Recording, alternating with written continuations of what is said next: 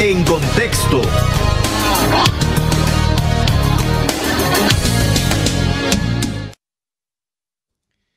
Y a nivel de noticias, ¿de qué está hablando el país y el mundo? José Cardosa nos informa.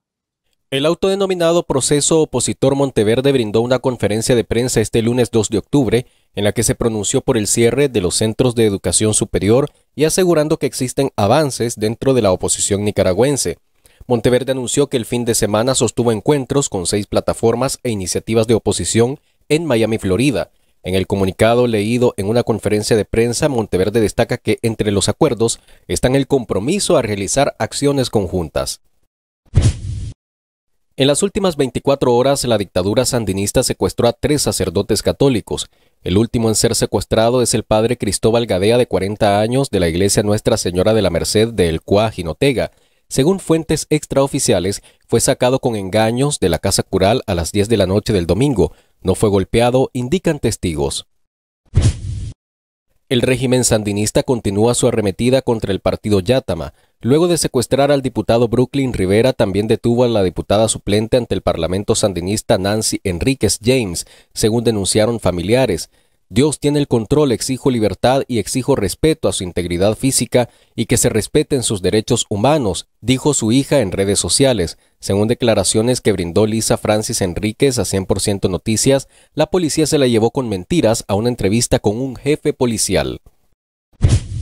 Una familia nicaragüense se ha visto sumida en una terrible tragedia como resultado de un devastador incendio que tuvo lugar en la discoteca Fonda Milagrosa de Murcia, España, a las 6 de la mañana hora local del pasado domingo. Esta familia, originalmente procedente de Chinandega, residía en territorio español en los últimos 15 años. De acuerdo con informes locales, la celebración de los 30 años de Eric Hernández, un nicaragüense, estaba en curso en el momento del incendio y en el ámbito internacional, cinco cardenales conservadores enviaron una carta al Papa Francisco en la que pusieron de manifiesto su preocupación por asuntos que van a tratar en la primera fase de la Asamblea General del Sínodo de los Obispos que arranca este miércoles.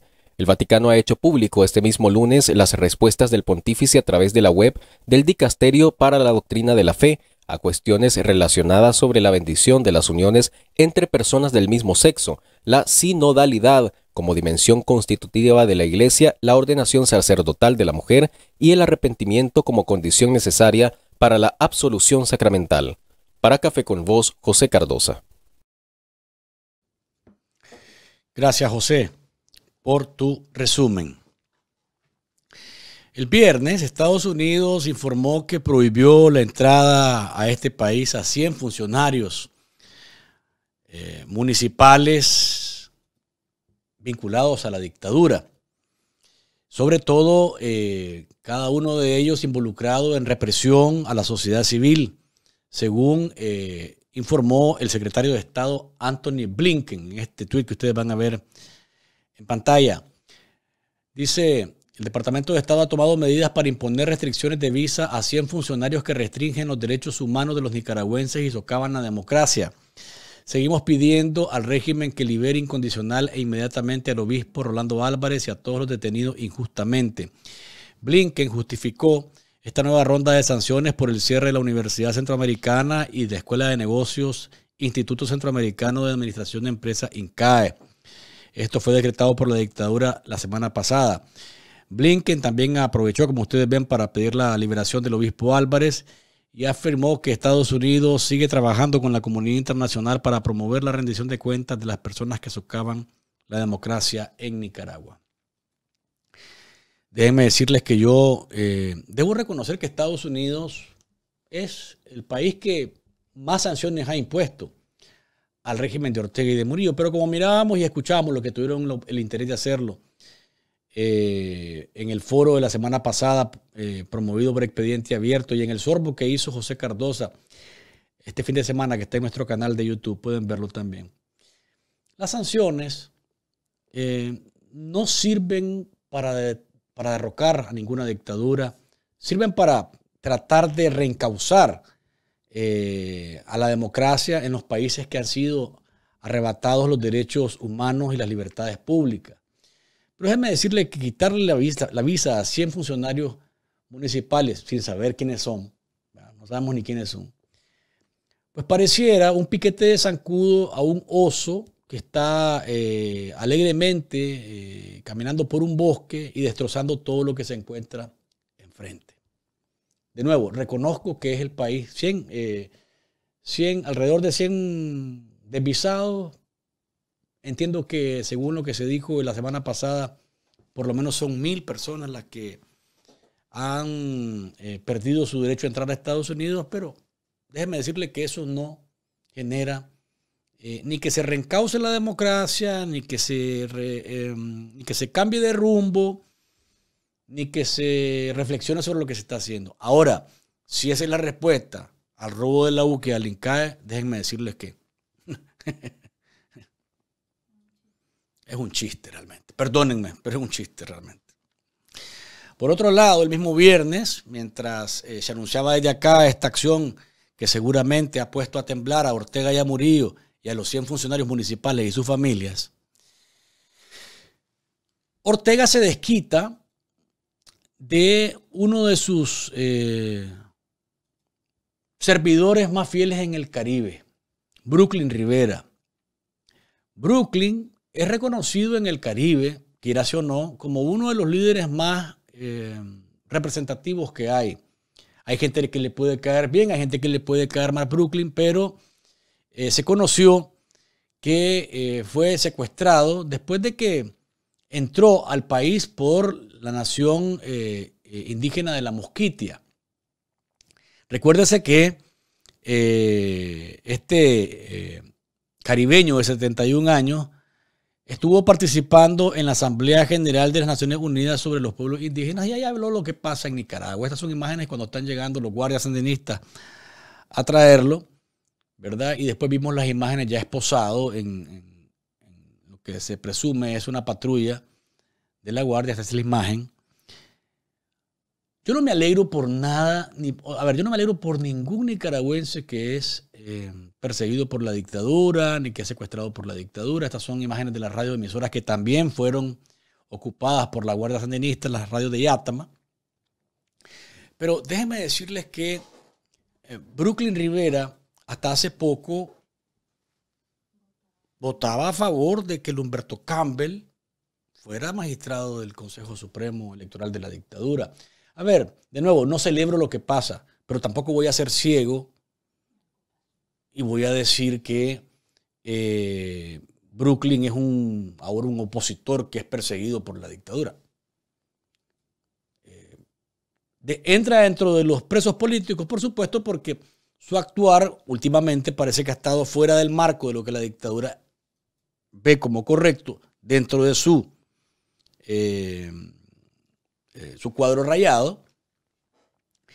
Y entonces ahora eh, ha remetido en contra de él. Pero Brooklyn Rivera ha sido un instrumento del Frente Sandinista desde hace tiempo, a través de Yatama, ¿no? o Yatama a través de Brooklyn y Brooklyn prestándose para diversas eh, fechorías. Eso hay que decirlo. No hay que.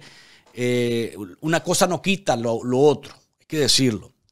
Pero de ahí a que sea Ortega el gran jugador, pues entonces hay una diferencia y yo sigo diciendo, si alguien ha cometido delitos anteriormente, de los años 80, en los 90, y están pendientes, no es Ortega el que tiene que juzgarlos. No es Ortega el que tiene que ponerlos como en un paredón y fusilarlos, porque el primero que debería estar en el paredón es Ortega ¿eh? y Murillo y todos sus secuaces.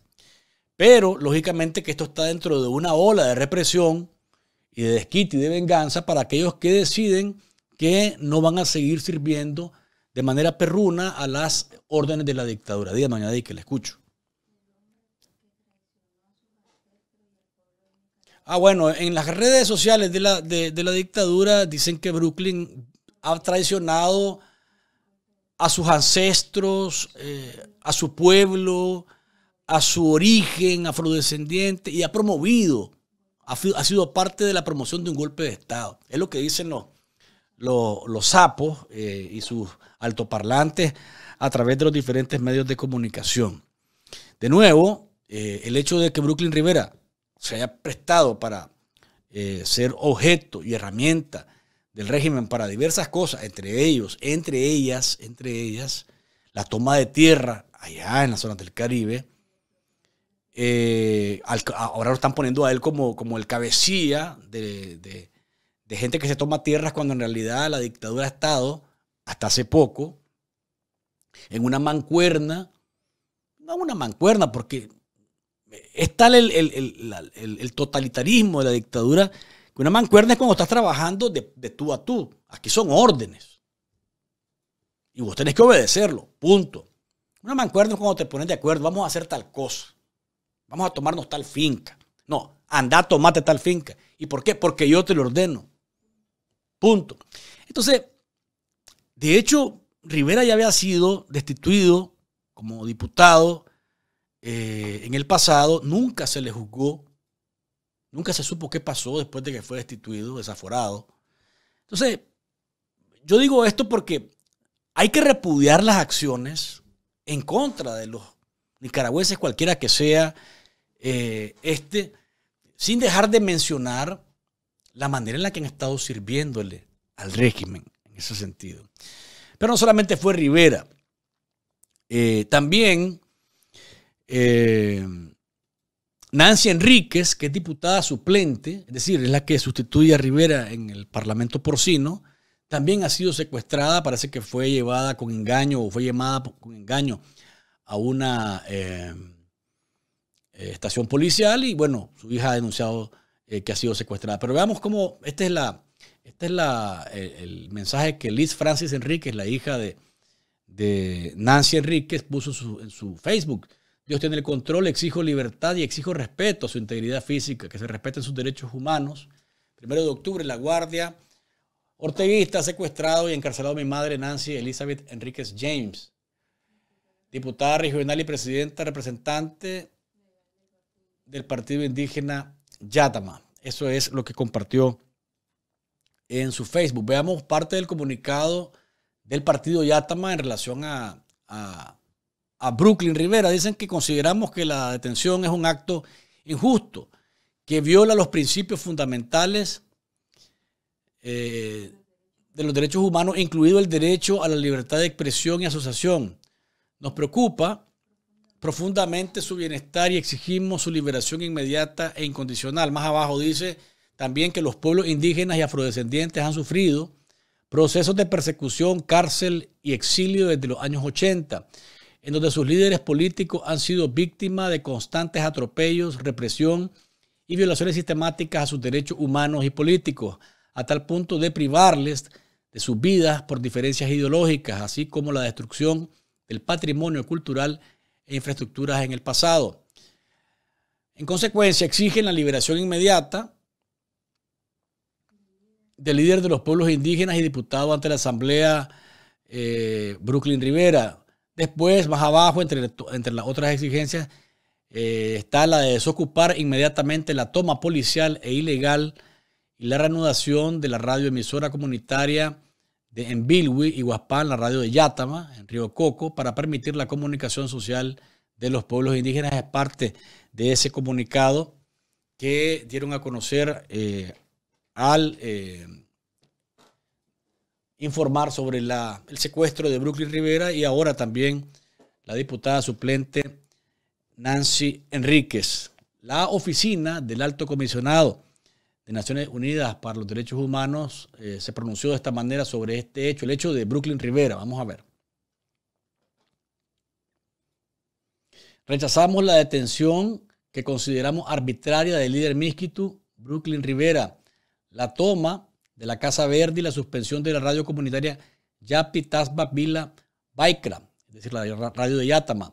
La diversidad política y la expresión de opiniones críticas son el cimiento de la democracia. Es lo que dice el comunicado. También el Enlace Continental de Mujeres Indígenas eh, emitió un comunicado al enterarse del secuestro de eh, la diputada suplente de Yatama, Nancy Enríquez James. Dice lo siguiente en la parte toral. Exigimos el cese de la persecución política, criminalización de líderes sociales, en especial aquellos del movimiento indígena, que están luchando por la democracia y los territorios, el reconocimiento de sus derechos colectivos y denunciando ante las instancias internacionales la vulneración de derechos de la población por parte de el régimen de Ortega.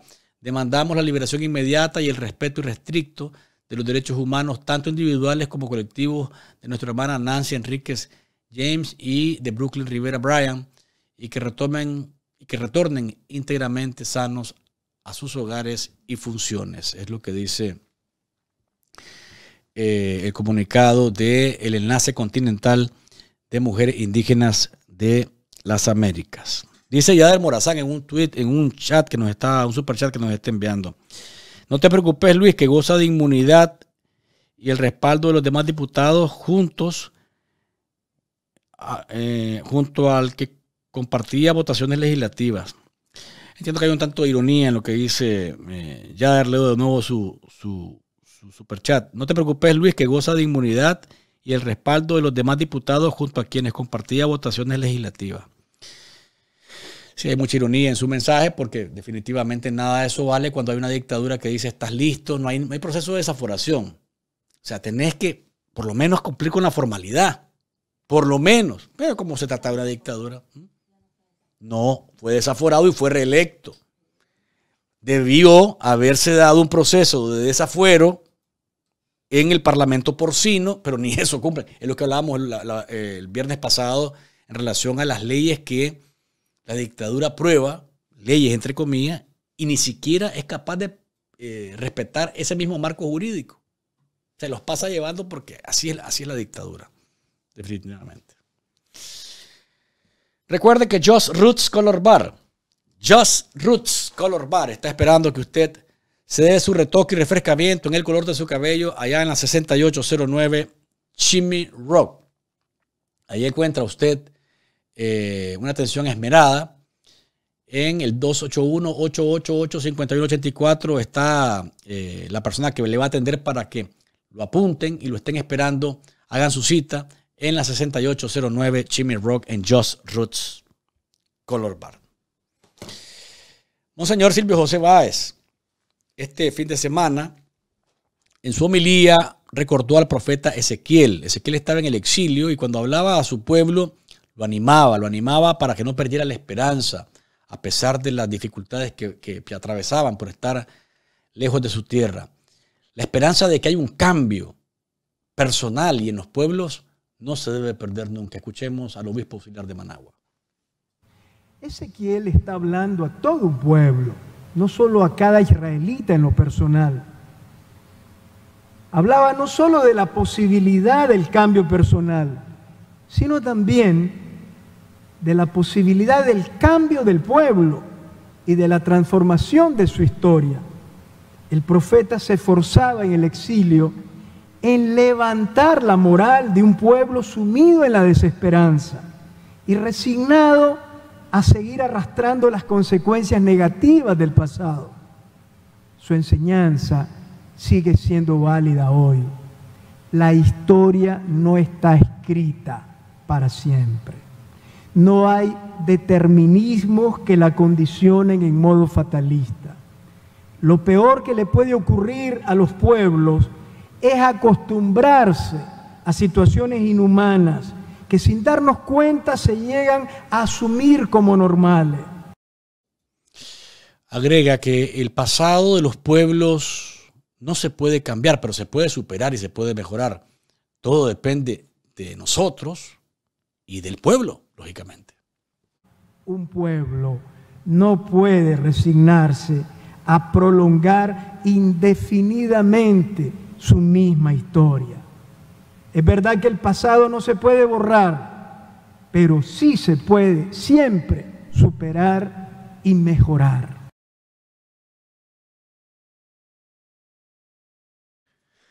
Añadió Monseñor Silvio José Báez que los pueblos no pueden ser marioneta de los poderosos de turno, siempre deben de buscar su libertad. Los pueblos no pueden ser marionetas de los poderosos de turno, ni deben conformarse con repetir una y otra vez los mismos errores del pasado. El futuro de un pueblo no está escrito de antemano. A veces el futuro de los pueblos es incierto. Hay cansancios, errores, intentos fallidos, luchas inútiles y decepciones. Podemos llegar incluso a pensar que ya no hay solución y que no nos queda otra opción que acomodarnos y acostumbrarnos al sometimiento, al silencio temeroso, al despojo de nuestra dignidad y de nuestros bienes. No, no lo permitamos. No lleguemos nunca a creer que ya no hay nada que hacer. No hay que desanimarse. Y efectivamente hay que tener esperanza. Añade con fuerza y con insistencia que lo peor que le puede pasar a un pueblo es acostumbrarse a estar oprimido. Porque Dios no está de acuerdo con eso. Dios está esperando que los pueblos reaccionen eh, y que busquen la salida a las crisis que los agobian.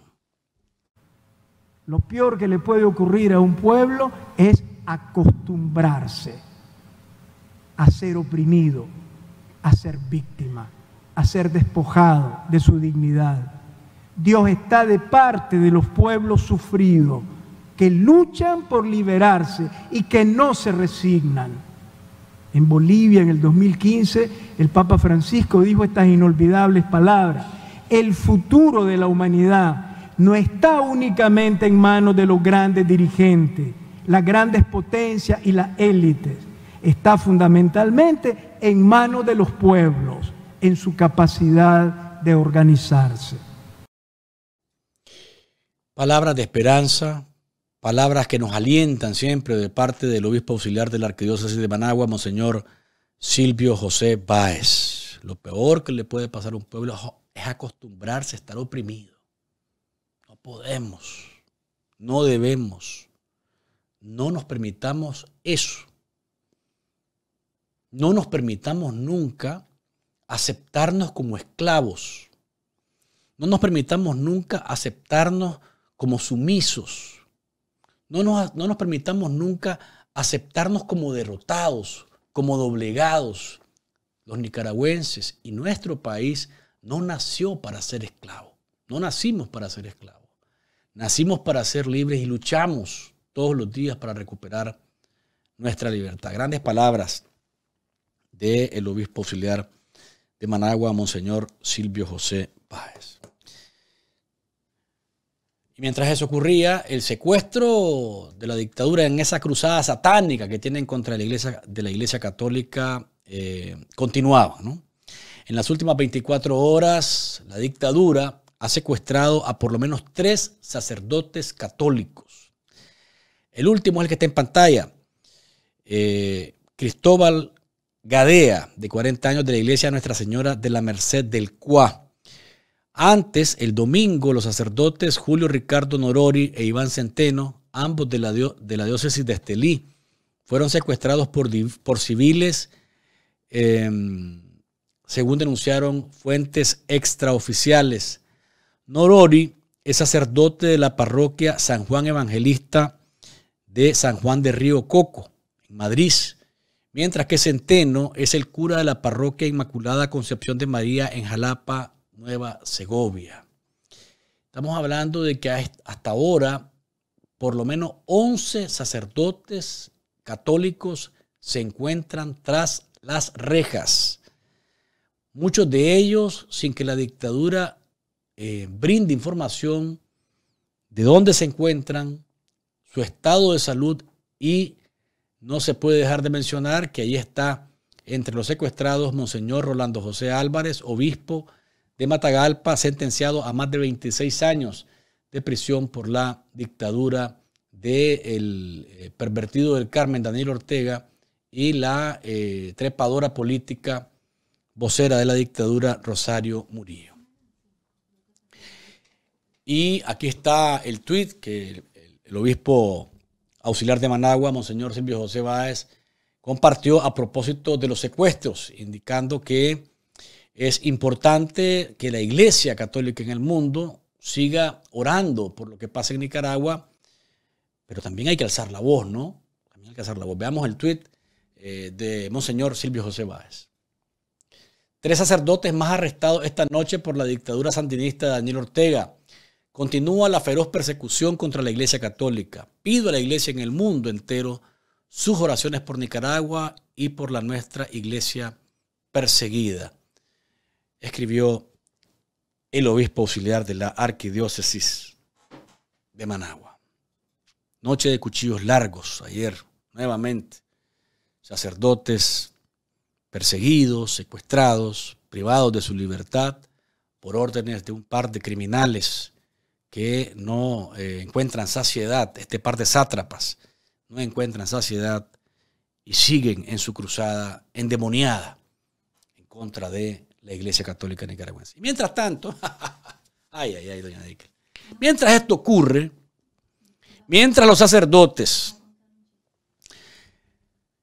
Cristóbal Gadea, Julio Ricardo Nodori e Iván Centeno han sido secuestrados.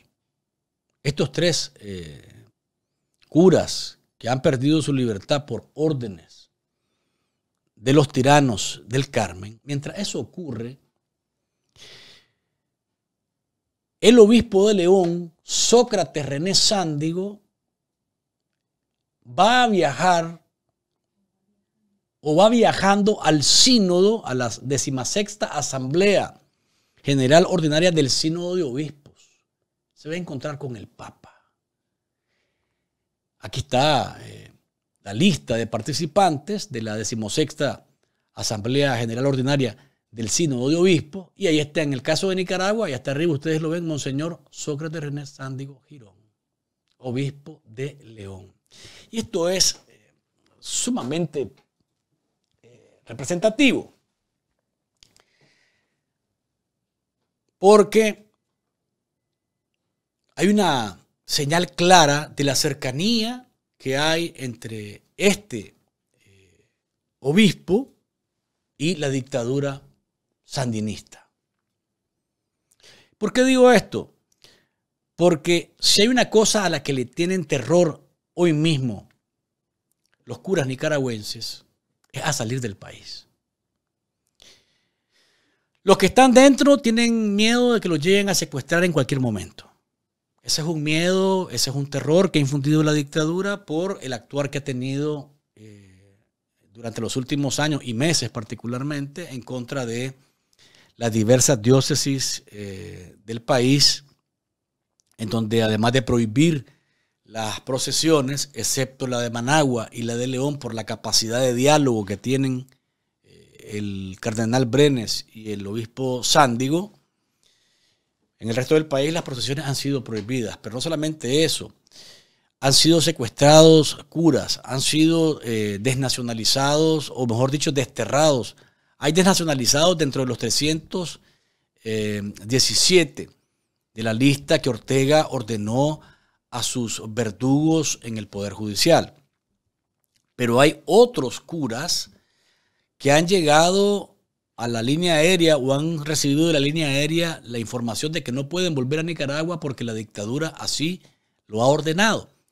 Y por tanto eh, hay una cantidad de eh, curas, de sacerdotes, de religiosos, de religiosas que han sido impedidos de volver a Nicaragua y por tanto han sido desterrados de facto por el régimen de los guarangos Ortega y Murillo. Y resulta pues que Sándigo es el delegado para que vaya a esta decimosexta sesión o reunión o asamblea del sínodo de obispos, se va a reunir con el Papa Francisco y él no tiene problema ni de salir ni de entrar.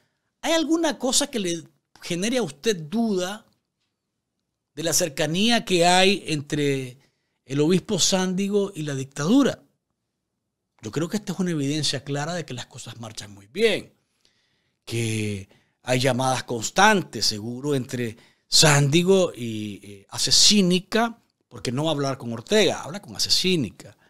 Y entonces él eh, se siente plácido, reconfortado, no tiene miedo, no hay eh, por qué alarmarse no, em, no come ansiedades, Sándigo, porque simplemente está muy bien con la dictadura. Escucho ya.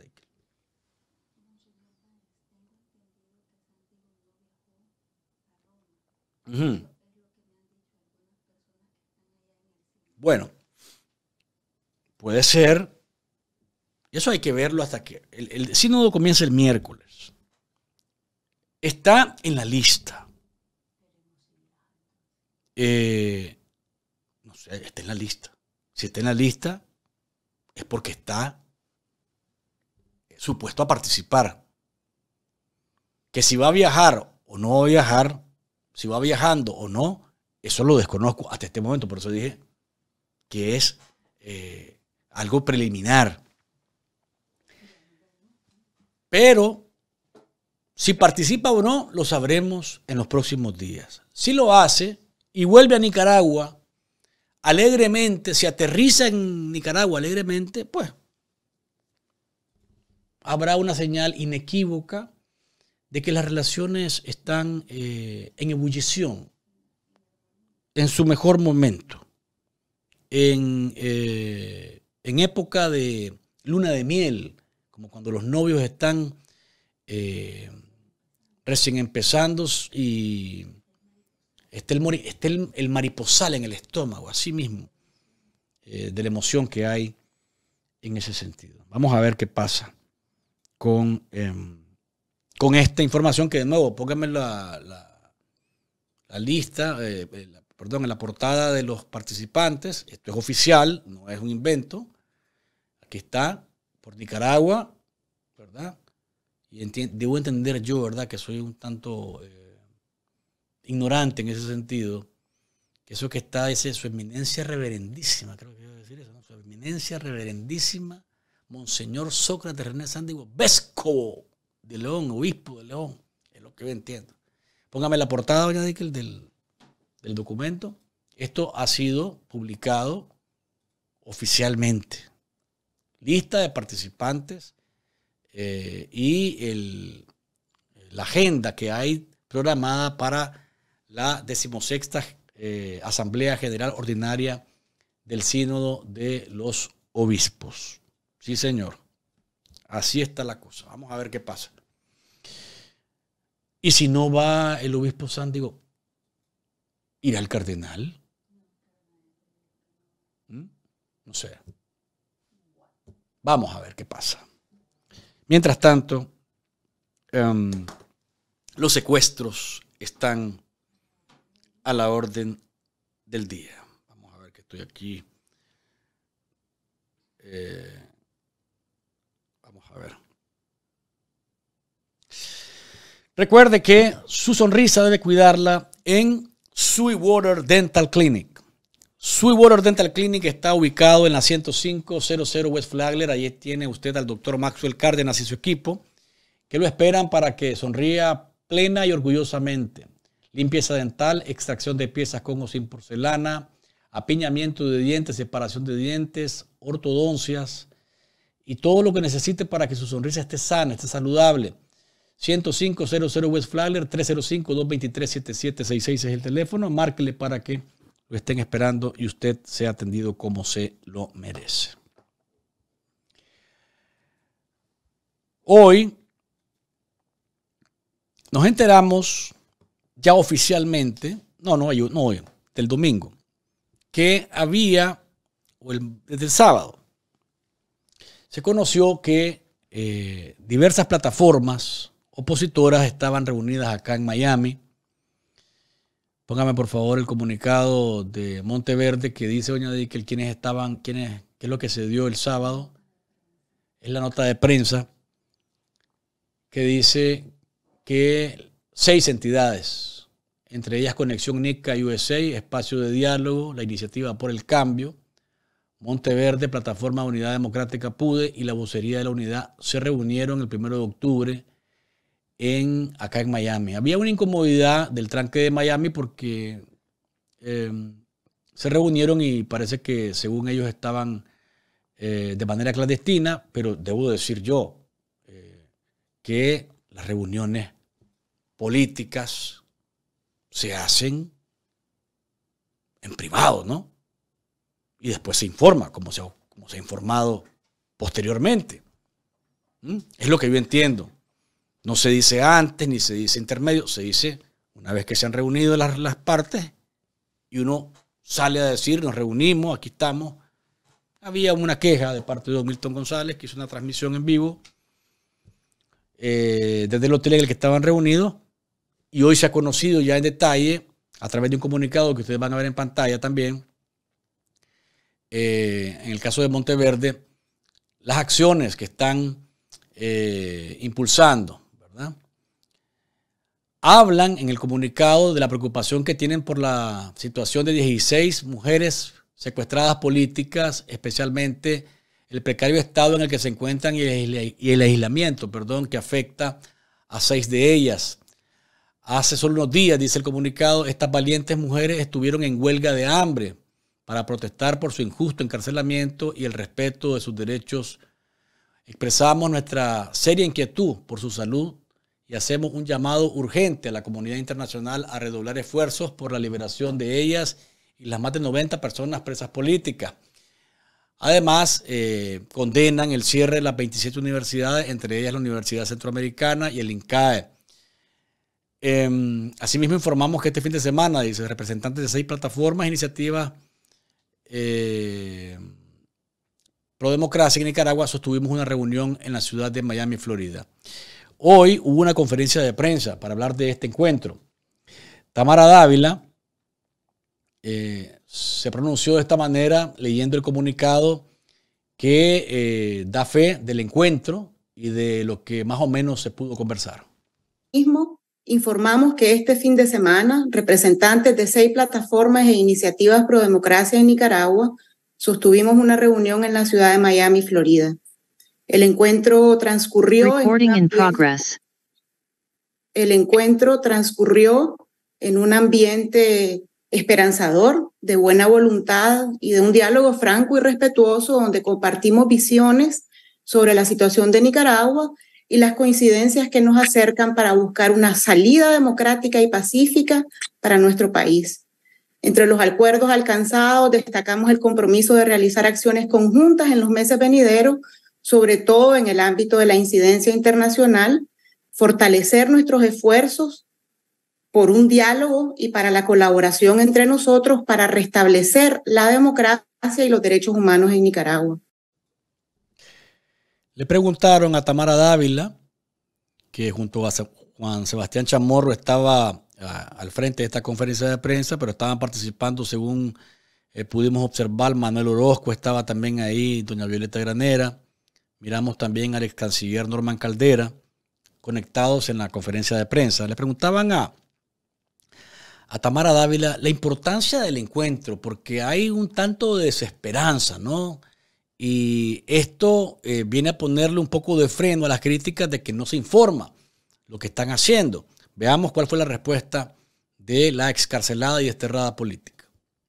Definitivamente el haber podido sostener este encuentro entre, entre liderazgos tan, tan distintos y a veces eh, dicotómicos incluso en las propias redes sociales, pues se ha visto, es un gran avance y es un gran avance porque estamos convencidos que, y convencidas que, que la dictadura está cada vez, cada vez más debilitada, que, necesitamos seguir eh, trabajando para que, para que eh, ese debilitamiento continúe, pero que haya, mientras llegamos a ese punto, hay una serie de acciones que debemos hacer conjuntamente. También le preguntaban a Juan Sebastián Chamorro qué pensaba o qué planteamiento tenía.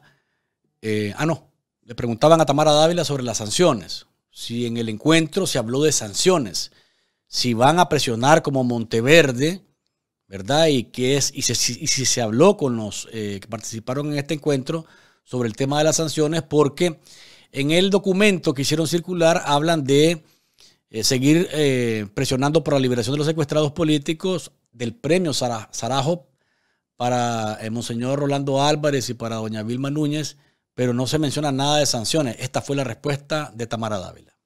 Las personas que, que cometen crímenes y que, y que cometen actos de corrupción y que enjuician y que persiguen, tienen que ser sancionadas. La comunidad internacional no puede ver hacia otro lado probablemente se distraigan porque hay miles de países en el mundo que tienen problemas tan serios o más serios que los nuestros.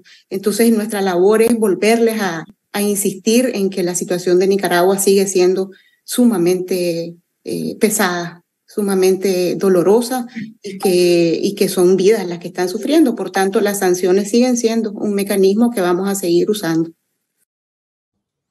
Es decir, que van a seguir impulsándolas, no es que están descartándolas ni que están cabildeando, según lo que dice Tamara Dávila, en contra de las sanciones, aunque ha generado algún tipo de inquietud una declaración que brindó eh, Manuel Orozco de Diálogo Interamericano sobre el hecho de que no sea conveniente sancionar al ejército. Él dice que no, es no está dentro de las primeras instituciones eh, claves para lograr un cambio. Hay gente que piensa lo contrario y por eso ha generado de alguna manera inquietud este señalamiento a tal punto que hoy, más adelante, vamos a ver la caricatura de Manuel Guillén que se la dedica a eh, Manuel Orozco, eh, miembro del Diálogo Interamericano y también que forma parte de la plataforma eh, Monteverde. Juan Sebastián Chamorro dice que el encuentro entre las seis plataformas o entre los seis grupos eh, es un ejemplo de responsabilidad de cara a la demanda del pueblo nicaragüense y también es un mensaje de cohesión frente a la comunidad internacional. El ejemplo que se dio a partir del viernes, sábado y domingo, y lo estamos informando de manera casi inmediata después de realizado este encuentro, eh, es una muestra de la importancia que nosotros le damos como agrupación, espacio de diálogo político, con la existencia de otras plataformas con las cuales tenemos muchas cosas en común. Así que, en primer lugar, es un mensaje directo a la población nicaragüense de que la oposición nicaragüense es coherente, responsable, unificadora y esperanzadora. Y en segundo eh, punto, eh, frente a la comunidad internacional, también estamos mostrando un mensaje de cohesión entre todos aquellos que se oponen a esta dictadura criminal que, como sabemos, ha cometido crímenes de lesa humanidad y el tema de justicia también es un elemento que une a cada una de estas seis. De las seis plataformas, indicaba Juan Sebastián. Le preguntaron también por el secuestro de Brooklyn Rivera. En ese, en ese momento eh, ya estaba también el tema de Nancy Enríquez, la diputada suplente de Yátama, y afirma Juan Sebastián que ambos se suman a la lista de secuestrados políticos porque la dictadura no soporta de ninguna manera eh, acciones que vayan en contra de lo que ellos ordenan. El arresto, el secuestro de Brooklyn se da en el contexto de su participación en la cumbre de, la Asamblea General de Naciones Unidas abordando el tema de pueblos indígenas. Entonces, obviamente, esto es una pasada de cuentas por la denuncia que eh, Brooklyn eh, seguramente habrá hecho en defensa de los pueblos indígenas, sobre todo ahora que están siendo manipulados en sus estructuras de poder eh, autonómico, donde el régimen orteguista trata de suplantar los pueblos eh, o las formas de poder eh, de acuerdo a sus usos y costumbres de los pueblos indígenas eh, y, em, y meterse en estos procesos autonómicos de la costa caribe. Así que claramente es un preso político. Es lo que informaban más temprano Tamara Dávila, Juan Sebastián Chamorro y otros miembros de Monteverde que estaban en esa conferencia de prensa. Creo que si mantienen eh, la comunicación abierta, pues lógicamente los nubarrones que se han eh, eh, formado alrededor de ellos se disipan. Porque una de las críticas más serias que ha tenido Monteverde es el tema de la comunicación, la mala comunicación que ha tenido al momento de brindar datos, responder a inquietudes y el hermetismo y a veces secretismo que eh, da vuelta alrededor de ellos. Ojalá y que esta sea la tónica para generar, si es lo que quieren, mayor confianza en la población nicaragüense que está demandando, como siempre. Yo lo veo, yo veo positivo el encuentro, ¿eh? déjame decirle. Porque ahí estaban personas que, que yo sepa, yo sepa, ¿verdad? Me van a disculpar. No son sandinistas. Porque a Monteverde lo ponen como sandinista, ¿no? La oposición sandinista. Ahí yo vi en, el, en, la transmisión que estaba haciendo eh, Don Milton González, que entró al hotel, ¿verdad? Y que trató de, eh, de hacer algunas, algunas, grabar quienes estaban presentes. Después entró otra persona que no sé quién es, eh, pero que es miembro del tranque también, y pude ver a don Álvaro Somoza, por ejemplo, sentado en la reunión que tenían ahí. También miré al doctor Henry Zelaya. Eh, entonces yo digo, estas personas que yo sepa, que sepa no son sandinistas. Eh, no me gustó, debo decir que hay, hay, fronteras ahí que uno debe cuidar. Porque si bien es cierto, una persona llega con un teléfono a tratar de grabar en un, un encuentro que es privado, la forma en la que se le trata a esa persona me parece a mí no es la más adecuada. Con educación se le puede decir a la persona que no grabe, por favor, que no es un evento que, se están interesados en ese momento en publicitar, porque vieron ustedes después que hasta se dio una conferencia de prensa y se dijo quiénes estaban y qué fue lo que hablaron. Pero creo que eh, la forma en la que eh, se le aparta el teléfono, se le empuja a la persona, eh, se cierra la puerta y se le, se le, dice que se vaya y que no está con autorización para estar ahí, me parece a mí que es inadecuado. Eh, como también es inadecuado eh, tomarse el, derecho de entrar a un lugar en el que no estás invitado y grabar a personas que no, que, no están definitivamente en, en, autorización de hacerlo. y aquí no me vengan a decir algunos que se trata de libertad de prensa y libertad de expresión porque ninguno de los que estaban haciendo esto es periodista, ninguno. Pero, por el otro lado, también hay que tener cuidado en la forma en la que se reacciona frente a esto. Hay que tener cuidado. Hay, hay una epidermis muy sensible y hay que tener cuidado, hay que ser, eh, eh, diría yo, eh, cuidadoso, prudente, porque en la medida que las cosas se vuelven o se tornan eh, no violentas porque, bueno, es un acto de violencia pegarle un manotazo a un teléfono y, cerrar una puerta y eso. Pero eh, si se salen de los cauces de la normalidad, creo yo que se prestan a críticas. Y Don Milton tiene derecho a cuestionar como dirigente del tranque de Miami, si está inconforme, igual los que forman parte del tranque, pero también tienen que respetar los espacios, ¿no? Yo creo que ahí hay eh, fronteras que se deben de cuidar, se deben de cuidar porque a nadie le gusta que lleguen a un sitio a meterse y, sin permiso de nadie. Van a, dirán algunos, pero están hablando del futuro de Nicaragua. Sí, pero entonces espera que venga, que salgan y que digan lo que van a decir si no dicen nada, pues cuestionar. ¿Ah? Lo que se habló, bueno, ¿qué, fue lo que dijeron? Eh, dicho sea de paso, la persona que está, a la segunda persona que llegó al hotel, eh, la que le pegan el manotazo en, el teléfono, eh, cuando se acerca a hablar con ellos, les dice que si están negociando Nicaragua, si se están repartiendo Nicaragua. entonces yo creo que también depende mucho la receptividad que tengan los que están reunidos de la forma en la que los abordes. Y de nuevo, no son periodistas, son personas que forman parte de agrupaciones eh, cívicas, sociales, políticas, que tienen derecho a cuestionar, claro que sí lo tienen el derecho, pero están los límites. Están los límites y hay que saberlos, hay que saberlos respetar, de los dos lados, de nuevo, porque Nadie está en el derecho de meterle un manotazo a nadie en el otro teléfono. Yo ahí creo que hay que, hay que saber reaccionar. Y em, eh, eh, como les repito, ahí estaba Álvaro Somoza. Y ahí estaba el, comandante Henry Zelaya. Que que yo sepa, no son sandinistas, ¿verdad?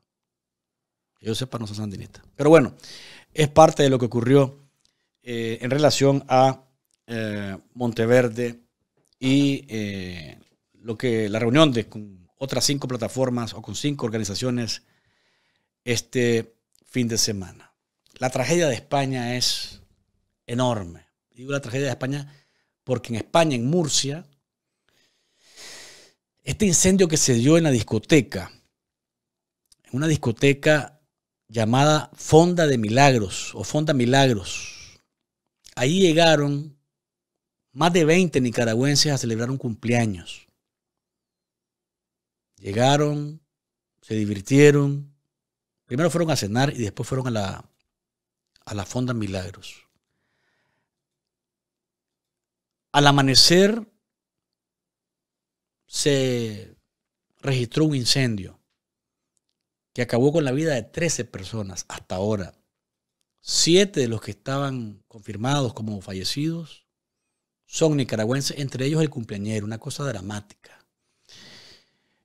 Las personas que acompañaban al compañero de nombre Eric Hernández, estamos hablando de su hermano Sergio, la mamá de ambos, una señora de 60 años, Marta, Orfilia Landón, de 28 años, que era la pareja de Eric, el cumpleañero, un matrimonio de amigos, Tania y John, y un allegado de nombre Rafael, una cosa trágica, terrible, que salgas a, celebrar el cumpleaños de un amigo, porque después de cenar, parece que ya después de la cena, y eso pasa muy comúnmente, ¿no? Vamos a bailar. Y si está algo cerca, una disco, y en este caso estamos hablando de, se le conoce como las atalayas a esa zona, en Murcia. Y entonces eh, entraron a la Fonda de Milagros, el fuego inició al amanecer, se extendió hasta otros lugares cercanos, el Teatre y Golden.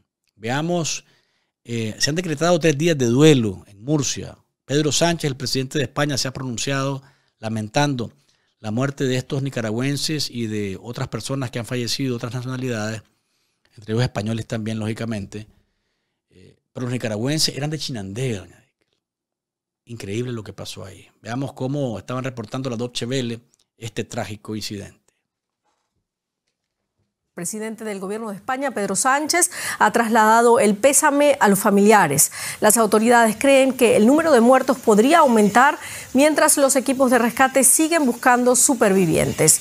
Desde el gobierno regional se han referido al incendio como una catástrofe y han anunciado que se hará todo lo que esté en su mano para atender a las víctimas y esclarecer las causas del suceso comenzar una comparecencia de prensa del alcalde de Murcia de José Ballesta, en el que ha subrayado que aún se desconocen las causas que han podido provocar esta tragedia. el, eh, hay varios eh, medios eh, locales que abren la posibilidad de que haya podido ser un cortocircuito lo que eh, comenzara las llamas. Lo que está claro, según ha comentado el portavoz de la policía, es que se va a tardar varios días en esclarecer lo que ha ocurrido y en recoger las pruebas necesarias. Hay que tener en cuenta que el incendio que se extendió a tres discotecas ha dañado las estructuras de los locales en los que está trabajando. Entonces, lo que tienen que hacer primero los investigadores y los cuerpos y fuerzas de seguridad es asegurar esos locales y una vez esos locales estén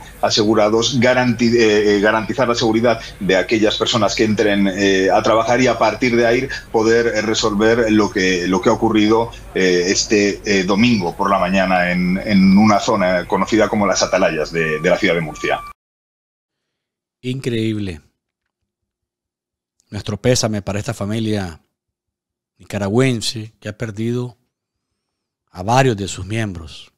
Una madre, sus dos hijos, su nuera y conocidos.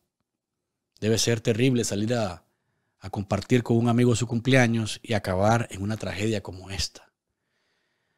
En España se han dado otros incidentes. En los años 90 hubo otro incidente en el que murieron más personas, pero este hecho funesto se ha convertido en el más catastrófico de eh, la zona de Murcia en su historia. Que descansen en paz nuestros eh, connacionales que han muerto en este trágico evento. En Guatemala,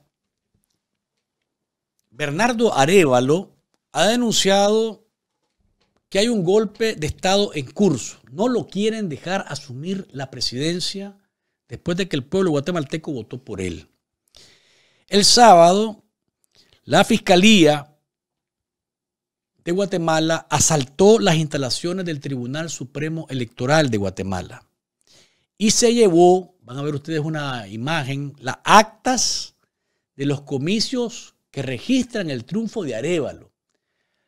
Los eh, miembros del Tribunal Supremo Electoral pelearon, lucharon, esta imagen que ustedes tienen en pantalla le dio la vuelta al mundo, lucharon con eh, fiscales y con la policía guatemalteca para que no se llevaran las actas, pero al final no pudieron impedirlo. Es decir, eh, se encuentra en manos de la fiscalía guatemalteca, del tal fiscal Curruchiche, eh, el voto de los guatemaltecos. Arevalo denunció que esto se trata de un golpe de Estado en curso y que no lo quieren dejar asumir el cargo. Hoy, como parte de este golpe en curso, el Ministerio Público asaltó la sede del Tribunal Supremo Electoral para secuestrar las actas que registran los resultados electorales con abuso y ostentación de fuerza, usada incluso contra los y las magistradas electorales. No hay duda de que el objetivo de estas acciones por parte del Ministerio Público lleva a la anulación del resultado electoral y a la destrucción del régimen democrático. Expreso mi solidaridad y mi respaldo a los magistrados del Tribunal Supremo Electoral y hago un llamado para que todos los guatemaltecos y las guatemaltecas acudamos en respaldo y apoyo de quienes han defendido el proceso electoral. Lógicamente que hay una mafia en Guatemala que no quiere aceptar que eh, Bernardo Arevalo, nos guste o no, nos caiga bien, nos parezca o no, sea el presidente de los guatemaltecos porque fueron los guatemaltecos los que decidieron con su voto mayoritario que así debía ser. Hay una mafia que ha estado gobernando Guatemala y que está impidiendo o haciendo todo para impedir que Arevalo asuma el poder. El silencio del presidente Alejandro Gian Matei es eh, realmente eh, ruidoso, a tal punto que Arevalo le dice, señor, ¿qué está haciendo usted para que la transición realmente se logre? Pronúnciese. Llamó también a los electos, a los diputados, a los alcaldes, a defender la decisión del pueblo guatemalteco con su voto. Y al pueblo en general de manera pacífica le dijo, tenemos que resistir para que esto que están planeando no se lleve a cabo. Al presidente Alejandro Yamatei le exijo que se pronuncie sobre el ultraje que se está cometiendo en contra de nuestras instituciones democráticas. A los diputados electos, a los alcaldes electos, los exhorto a defender su elección la legitimidad de sus cargos y a defender el voto de sus electores. Y al pueblo de Guatemala hago un llamado para que defendamos la democracia mediante la protesta y la manifestación pacífica en defensa de la democracia y de nuestros resultados electorales.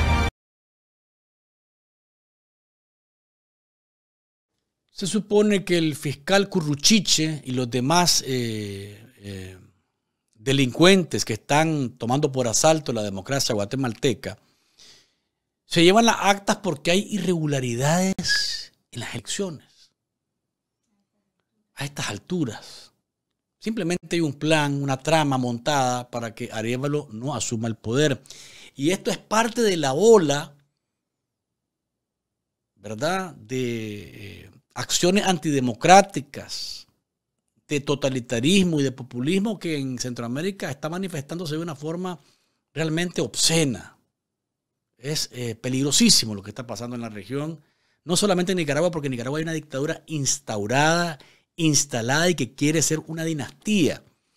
En el resto de la región hay otras situaciones como esta de Guatemala que eh, definitivamente deben deben ponernos en auto como centroamericanos, ya no solo como nicaragüenses, como centroamericanos. Y mientras tanto, en Cuba, ah, perdón, doña gracias, sí, doña que me está aquí recordando que ante esta situación, eh, Arevalo informó hoy que se comunicó con el secretario de Estado Anthony Blinken. Veamos eh, lo que puso en su cuenta de X. Sostuve una reunión con el secretario de Estado de Estados Unidos, Anthony Blinken, en la que ha expresado la preocupación de su país por la situación en Guatemala. Intercambiamos y reiteramos el, nuestro compromiso para que prevalezca la democracia y se garantice el respeto al voto de las y los guatemaltecos, así como por la, eh, así como por la mutua colaboración en crear oportunidades de desarrollo para el país. Y ahí miran ustedes la fotografía de Arevalo, que tiene una videollamada con el secretario de Estado Anthony Blinken, que también compartió en su cuenta de X eh, sus puntos sobre el encuentro con el presidente electo de Guatemala. Nos reunimos con el presidente electo de Guatemala, Bernardo Arevalo, para subrayar nuestro apoyo a una transición pacífica del poder y el rechazo a quienes socavan la democracia. Esperamos trabajar con su administración para promover la prosperidad, la estabilidad y la democracia en las Américas. Fue lo que escribió el secretario de Estado Anthony Blinken sobre esta situación delicadísima que se está registrando allá en, eh, en Guatemala. Y en Cuba, veamos cómo Jorge Castro, activista de derechos humanos, nos da en el siguiente minuto un panorama de lo que anunció el régimen eh, de la Chichincle de Raúl Castro, Miguel Díaz Canel para los cubanos en estos días que arrancan, eh, esta semana que arrancan hoy lunes. Esta semana el régimen cubano ha anunciado un estricto paquete de racionamiento ante la falta de combustible.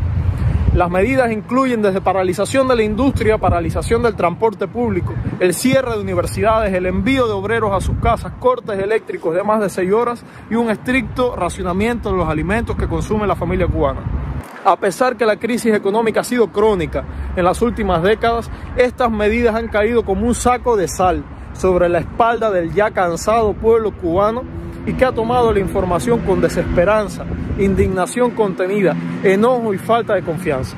Mientras los jóvenes cubanos buscan cualquier tipo de escapatoria para huir de la situación que han creado y al que han llevado el país, los ancianos, la generación de nuestros abuelos, que fue la generación que más sacrificios hizo en nombre de la revolución de Fidel Castro y de las ideas comunistas, pasan horas y horas en las colas del hambre tratando de comprar un pan con la pensión de 6 dólares al mes que reciben. Con la pensión de 6 dólares al mes, los ancianos en Cuba hacen fila para comprar lo que puedan con eso. 6 dólares, ¿qué cosas hay en Cuba? Nada. En Cuba y en ninguna parte, es nada. Así está el panorama en la isla que muchos ponen como ejemplo de dignidad como ejemplo de una sociedad humanista, como ejemplo de solidaridad, como ejemplo de eh, lucha. Definitivamente que el pueblo cubano lucha, pero lucha por conseguir algo para comer, para no morirse de hambre, porque lo único que puede repartir el comunismo y el socialismo es hambre, es miseria, de eso no tengamos duda. Doña y también para que los edificios no se le vengan encima.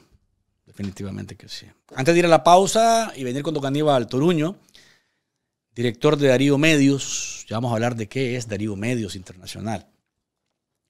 Recordarles que en la familia Multiservice lo están esperando para que usted se convierta en un preparador de impuestos. Marque los teléfonos de la familia Multiservices de North Miami y de Okeechobee para que usted haga su consulta y sea parte de la familia, se sume al equipo de la familia Multiservices. Si es contador, si es administrador de empresas, acaba de llegar acá a Estados Unidos, no se preocupe, ya la chamba, ya el trabajo, ya eh, la plaza la tiene asegurada, si llama y cumple con los requisitos, que la familia Multiservices está necesitando que usted llene, entre ellos que lea y entiende el inglés. No tiene que hablarlo, ¿eh? Que lea y entiende el inglés. Y lo más rico de esto, doña Dickel, es que trabajas desde tu casa. No es necesario que estés en la Florida. Desde cualquier lugar de los Estados Unidos vos puedes hacer tu trabajo. Así que hay que llamar a la familia Multiservices y eh, garantizarse eh, la plaza para ser parte del equipo de, este, de esta gran membresía de la familia Multiservices. Vamos a la pausa comercial y regresamos con nuestro entrevistado, el eh, amigo licenciado Aníbal Toruño.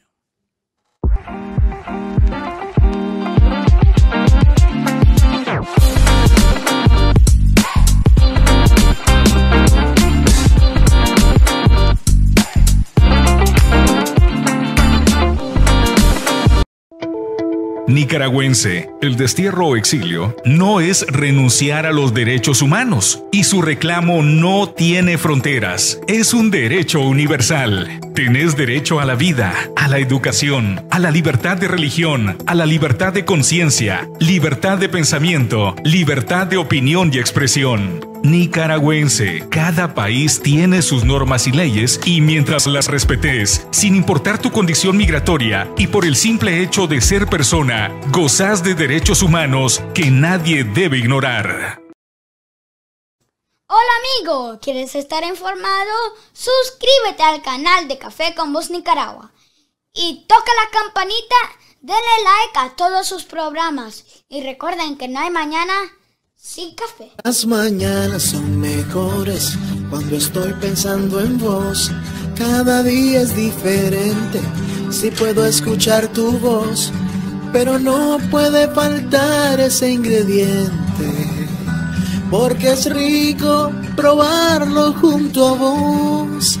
Un buen café. es café con vos